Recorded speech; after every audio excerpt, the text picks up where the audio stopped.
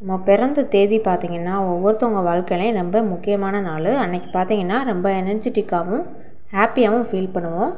அந்த birthday and birthday celebrations பற்றின சுவாரஸ்யமான தகவல்கள் தான் உங்ககிட்ட சொல்ல போகிறேன் அதை தெரிஞ்சுக்கிறதுக்கு முன்னாடி நம்ம சேனலை சப்ஸ்கிரைப் பண்ணிக்கோங்க. ஃபஸ்ட்டு ஃபஸ்ட்டு பார்த்தீங்கன்னா கேண்டில் வச்சு கேக் வெட்டுறதை எங்கே அறிமுகப்படுத்தியிருக்காங்கன்னு பார்த்தீங்கன்னா பதினெட்டாம் நூற்றாண்டில் க்ரீஸில் தான் அறிமுகப்படுத்தியிருக்காங்க. ரோமானிய பேரரசியான கிளாடியோ சவேரா அப்படின்றவங்க பார்த்தீங்கன்னா ஒன்றாம் நூற்றாண்டில் தன்னோட பர்த்டேக்கு இன்விடேஷன் கொடுத்துருக்காங்க எல்லாருக்குமே. அதுதான் ஃபஸ்ட்டு ஃபஸ்ட்டு உலகத்திலே கொடுக்கப்பட்ட இன்விடேஷன் அது வந்துட்டு ஒரு அட்டையில் இங்கில் எழுதி கொடுத்துருக்காங்க. பர்த்டேக்கு எல்லோரும் வந்துருங்க அப்படின்ட்டு.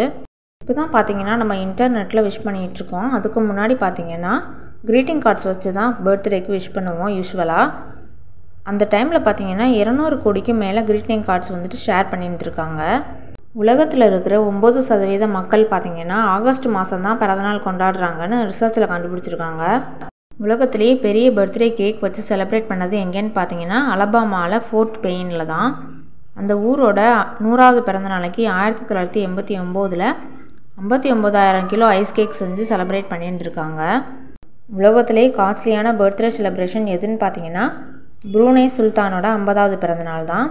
அவரோட பிறந்த நாளைக்கு பார்த்தீங்கன்னா ஆயிரத்தி தொள்ளாயிரத்தி அறுபத்தி மூணு கோடி சொச்சத்துக்கு செலவு பண்ணியிருந்திருக்காரு.